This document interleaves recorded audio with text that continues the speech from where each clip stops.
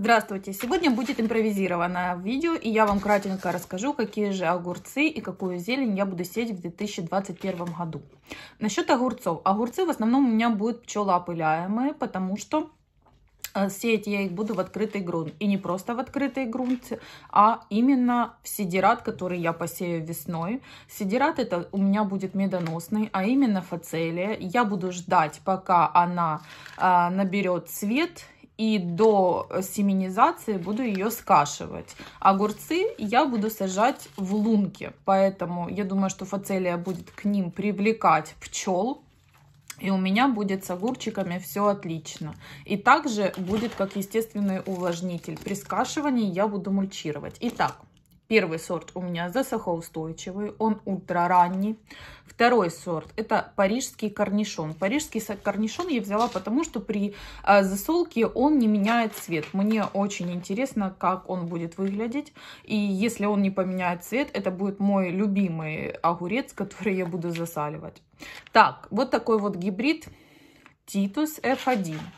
И вот такой вот засолочный набор. Э, в этом засолочном наборе, чем он мне понравился, здесь идет э, сорт Кураж, достаточно известный сорт. Он высокопродуктивный и очень хорошие, отличные вкусовые качества.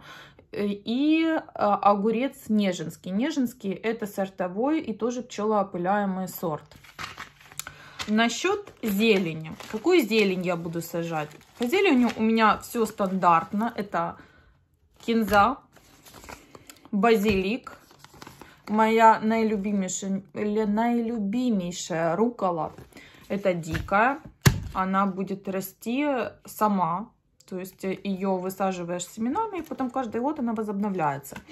И еще я хочу, к сожалению, я не успела под зиму посеять. Это у нас дикий чеснок. Дикий чеснок называется черемша, которая занесена в Красную книгу. Она у нас растет в лесах. Ее, конечно же, продают у нас на базарах, но это незаконно, потому что она уже находится под исчезновением. Поэтому для того, чтобы кушать вкусную черемшу, окультуривайте ее, высаживайте у себя на участке. Что я буду сейчас предпринимать? Я буду ее сеять в плошке и повезу на дачу. Пусть она там стратифицируется, потому что без стратификации, скорее всего, черемша у вас не зайдет.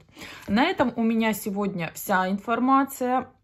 В следующем видео я постараюсь вам показать свой уже садоводческий дневник, который я завела, что я туда буду записывать, и лампу, которую я придумала наконец-то как повесить. Подсмотрела, пересмотрела, вернее, много видео и нашла способ именно для себя. Тоже покажу вам следующее видео. Смотрите, подписывайтесь. Пока!